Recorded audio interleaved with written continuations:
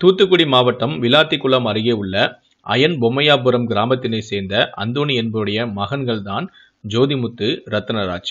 இருவருமே லாரி டிரைவர்கள்.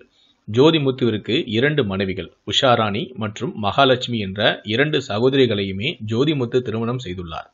இந்த தம்பதிகளுக்கு சீமான் அல்போன்ஸ் என்ற மைக்கேல் வயது பதினான்கு எட்வின் ஜோசப் வயது ஒன்பது என்ற இரண்டு மகன்களுமே பத்தாம் வகுப்பு படிக்கும் ஒரு பெண் குழந்தையும் உள்ளனர். மைக்கேல் ஏழாம் வகுப்பும் ஜோசப் மூன்றாம் வகுப்பும் விளாத்துக்குளத்தில் உள்ள ஒரு பள்ளியில் படித்து வந்தனர். தனது குழந்தைகள் படிப்பிற்காக ஜோதிமுத்து தற்பொழுது விளாத்திக்குளம் காமராஜர் நகரில் வசித்து வருகிறார். இதற்கிடையில்தான் அயன் பொம்மையாபுரத்தில் சொந்த வீடு கட்டும் பணிகளையும் தொடங்கியுள்ளார்.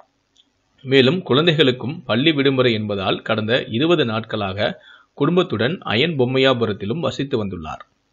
இந்நிலையில்தான் நேற்று மாலையில் விளையாடச் சென்ற இரு மகன்களுமே வெகு நேரமாகியும் வீடு திரும்பவில்லை என்பதால் ஜோதிமுத்து மற்றும் அவரது உறவினர்கள் தேடியுள்ளனர். சிறுவர்கள் எங்கும் கிடைக்கவில்லை என்பதால் விளாத்திக்குளம் காவல் நிலையத்திலும் புகார் அளித்துள்ளனர்.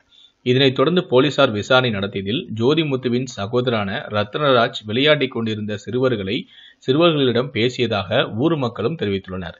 இதையடுத்து போலீசார் ரத்னராஜை பிடித்து விசாரணை நடத்தியுள்ளனர். அவர் மது போதையில் இருந்த காரணத்தினால் போலீசாரிடம் முன்னுக்கு பின் முரணான தகவலை தெரிவித்துள்ளார். இதற்கிடையில் தான் அந்த கிராமத்தின் அருகே உள்ள தனியாருக்கு சொந்தமான கிணற்றில் செருப்பு ஒன்று கிடப்பதாக கிராம மக்கள் போலீசாருக்கு தகவலை கொடுத்துள்ளனர். இதனைத் தொடர்ந்து போலீசாரும் தீயணைப்புத் துறையினரும் சிறுவர்களை தேடும் முயற்சியிலும் ஈடுபட்டனர். சுமார் ஒரு மணி நேரத்துக்கு பின்னர் எட்வின் ஜோசப் உடலையும் மீட்டனர். மைக்கேல் உடலை மீட்பதில் தொய்வு ஏற்பட்டது.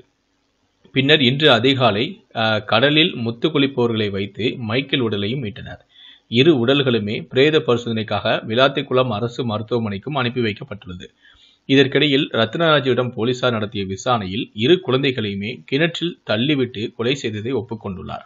அவர் அளித்துள்ள வாக்குமூலத்தில் அடிக்கடி மது அருந்தும் தன்னை அண்ணனான ஜோதிமுத்து கண்டித்து திட்டியதாகவும் அந்த ஆத்திரத்தில்தான் கொலை செய்ததாக தெரிவித்துள்ளார். இதனைத் தொடர்ந்து போலீசார் அவரை கைதும் செய்தனர். ரத்னராஜுக்கு திருமணமாகி ராஜேஸ்வரி என்ற மனைவியும் இரண்டு குழந்தைகளும் உள்ளனர். கருத்து வேறுபாடு காரணமாக ராஜேஸ்வரியை பிரிந்து வாழ்ந்து வருகிறார். ஜோதிமுத்துவின் முதல் முதலில் உஷாராணியை தான் திருமணம் செய்து உள்ளார். அவருடைய தங்கை தான் மகாலட்சுமி. ரத்னராஜுக்கு திருமணம் நடைபெறுவதற்கு முன்பே அன்னியுடைய தங்கையான மகாலட்சுமியை தான் இவர் காதலித்து வந்துள்ளார். இவர்களுக்கு இடையே வந்து ஒரு தொடர்பும் இருந்துள்ளது. மேலும் இதற்கு அண்ணனான ஜோதிமுத்து எதிர்ப்பு தெரிவித்தது மட்டுமல்லாமல் குடும்பத்தாருடன் சேர்ந்து தம்பியான ரத்னராஜுக்கு ராஜேஸ்வரி என்ற பெண்ணை திருமணம் செய்து வைத்துள்ளார்.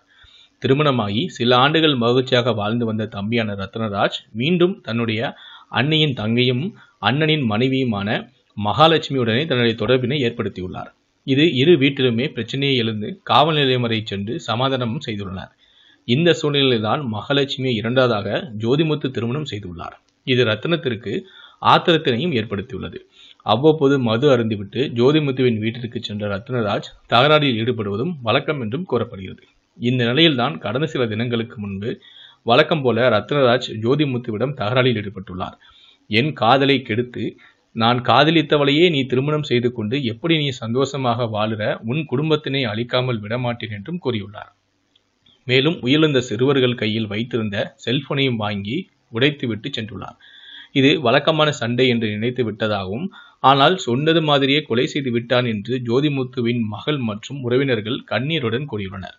கிணற்றில் அருகே தண்ணீர் மற்றும் குளிர்பான பாட்டில் இருப்பதால் குழந்தைகள் அதில் ஏதாவது கலந்து கொடுத்து கிணற்றில் தள்ளிவிட்டு கொலை செய்திருக்கலாம் என்றும் கிராமத்தினர் கூறியிருக்கிறார்கள். அது மட்டுமல்லாது குழந்தைகளை தள்ளிவிட்ட பின்னரும் அவர்கள் இருவருமே தண்ணீரில் மூழ்கி சாகும் வரை பார்த்துவிட்டு பின்னர்தான் ரத்னராஜே சென்றிருக்கலாம் என்றும் கூறுகிறார்கள். தான் காதலை தன்னுடைய காதலை கெடுத்து காதலியே திருமணம் செய்த அண்ணனை பழிவாங்க அவரது இரு மகன்களையே தம்பி கொலை செய்துள்ள சம்பவம் விளாத்திக்குளம் பகுதியில் பெரும் சோகத்தினை ஏற்படுத்தியுள்ளது. இந்த சம்பவத்தை பற்றி உங்களுடைய கருத்துக்கள் என்ன அப்படிங்கிறத மறக்காமல் பதிவு பண்ணுங்கள்